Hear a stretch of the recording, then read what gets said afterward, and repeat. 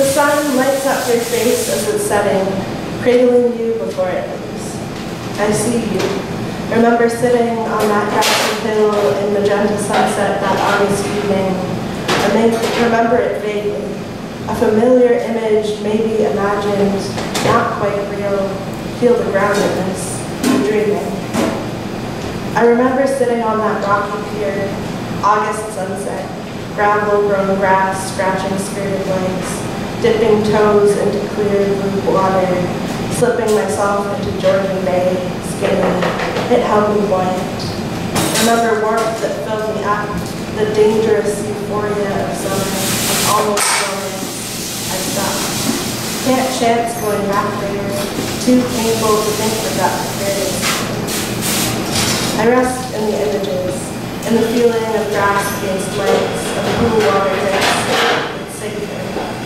Remember my body because I fear remembering my mind.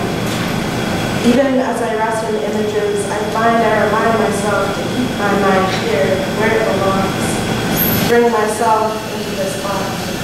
Wooden chair pressing against back, soft piping, students shuffle, move air past me.